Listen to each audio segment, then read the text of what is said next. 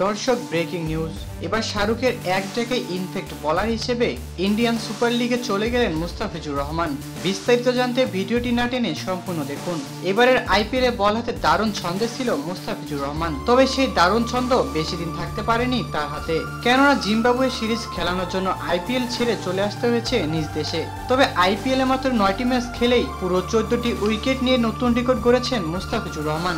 IPL এ দারুণ performance করায় কলকাতার মালিকের জয় করে নিয়েছিলেন তিনিও।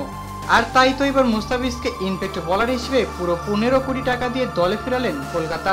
শাহরুখ খানের জন্যই এবার বদলি প্লেয়ার হিসেবে আইপিএল খেলতে আজ রাতে রওনা দিবেন মুস্তাফিজুর রহমান।